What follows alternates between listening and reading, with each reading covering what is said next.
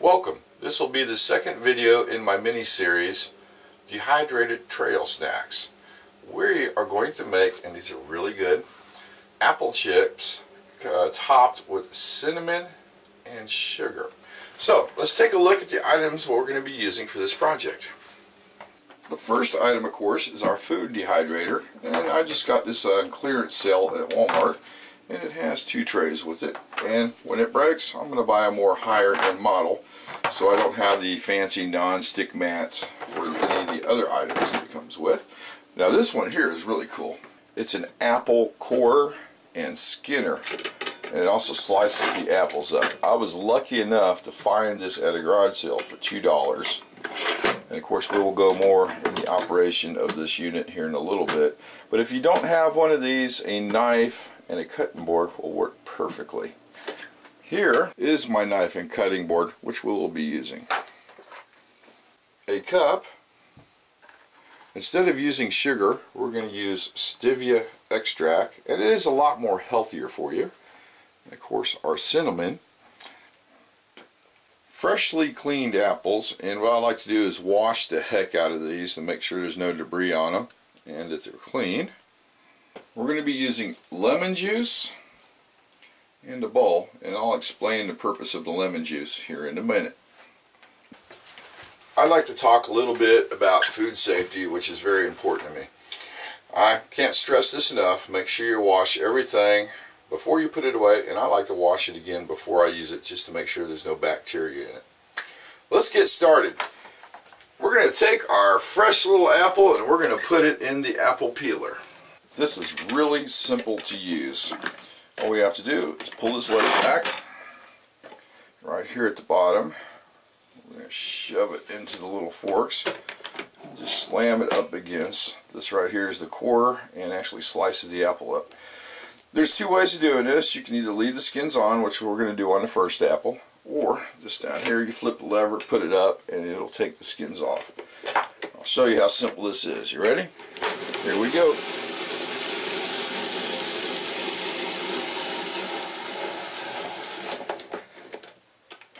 take it out, all you have to is we're going to pull this, slide it back just a little bit, and we're going to take the apple right off. See that? Leaves the core on it. And our apple now looks like a slinky. Grab the second one, and we are going to actually peel the skin off.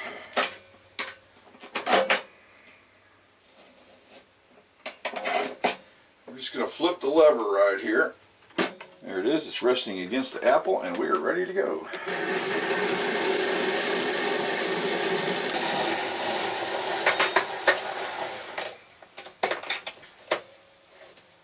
And we have deskinned our apple.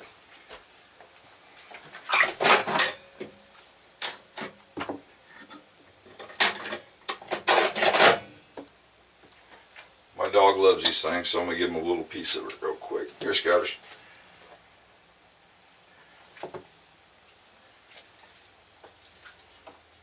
Not supposed to feed it to them, but eh, there we go. Okay, we're good there.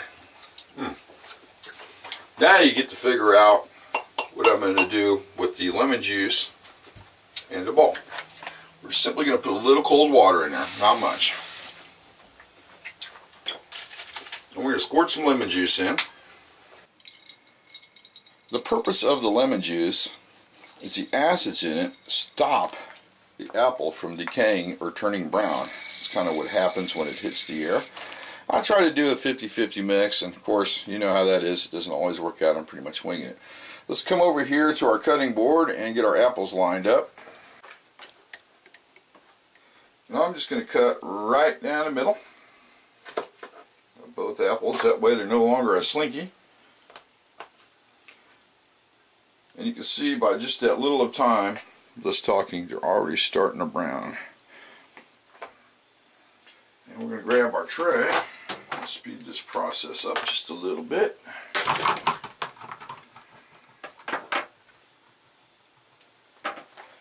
And I'm going to just dunk them in the solution, wipe them off on the towel, and just start putting them on the tray.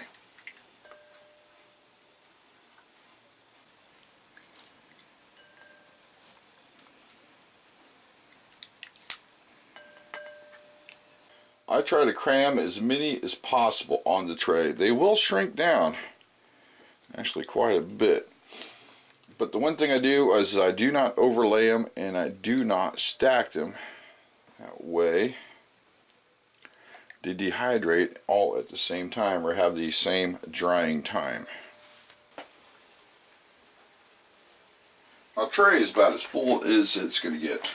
Uh, on the leftovers, don't worry about them. You can either save them for next time. I would dump, dunk them in the solution and put them in a Ziploc, Ziploc or eat them, which I'm going to be doing. Let's clear some of these items out of the way. Get ready for the next phase of the product. Product. project. As we are going to make our cinnamon and sugar that we're going to sprinkle on the top. So first thing is, is I'm going to dump sugar, or actually cinnamon in there, and we're going to do a attempt to do a 50-50 mix. Of course, we're going to use the stevia extract, and these come in packages. You can get them in a bag, like you get regular sugar in, but they are very expensive, so I just go this route.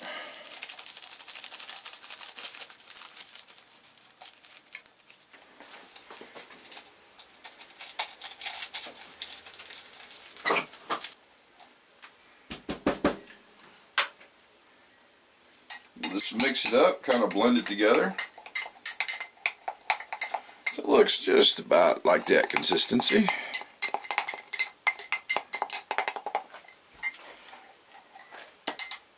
And of course we're going to start to sprinkle. Now how much you put on there is totally up to you. I like it lightly coated and sometimes I like it heavily coated.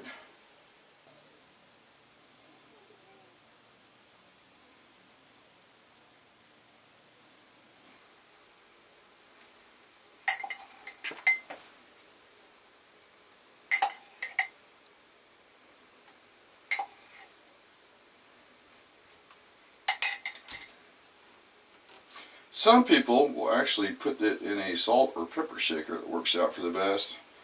But I'm just winging it, and anywhere there's too much on one piece of apple, I'm just going to grab it, put it on another one. I think we're ready to put this in the food dehydrator. Let's throw the lid on. Boom! You're going to ask me how long it takes to dehydrate or dry out this is a basic unit and it usually uh, usually between 10 and 12 hours they will be done.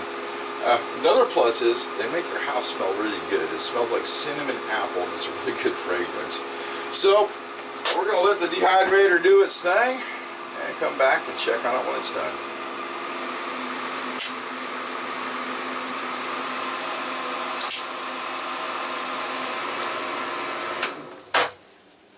They are finally done, and my, I'm going to tell you what, right now, my whole house smells like Christmas time. It smells really good, apple cinnamon.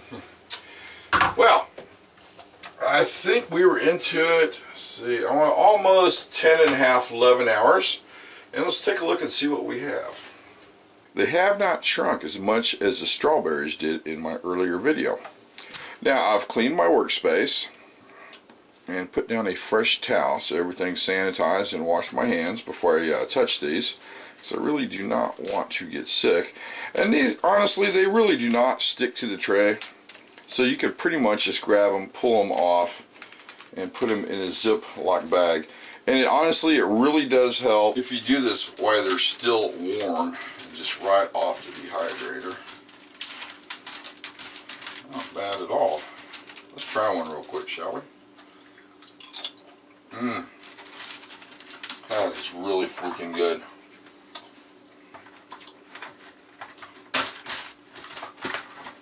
Okay. Let's go ahead and throw them in the Ziploc here. Simply get the rest of these out.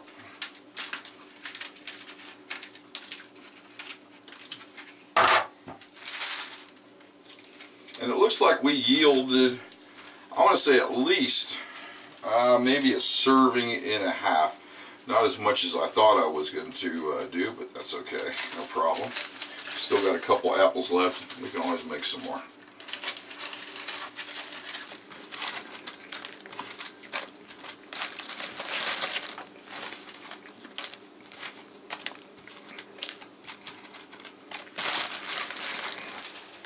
Okay, there you have it. We have made my second favorite dehydrated trail food. Apple chips with cinnamon and sugar on there. I'm going to repeat a couple things I said in my first video of the series, the dehydrated roadkill strawberries. So you can kind of disregard that if you've already watched that video, and I really hope you have. You're going to ask me, what is the shelf life of these? I'm going to be honest with you, I don't know. These will probably last me anywhere from two to three days if we're lucky because they're that good. I kind of run around and uh, snack on them throughout the day. But if you are going to do a long-term storage, uh, it's a good idea to vacuum seal them and then put in one of the oxygen absorber pads and make sure you get the one that are the ones that are food grade. I'm going to give you a little hint on what we are going to make next time. And this is going to be a real fun project. It's really simple to do and it'll be a good starter project for you. We're going to make banana chips. We're not going to put anything on them. We're just going to slice them up and throw them in there. So that will be the next project and the last video in the series. Like always, thanks for watching.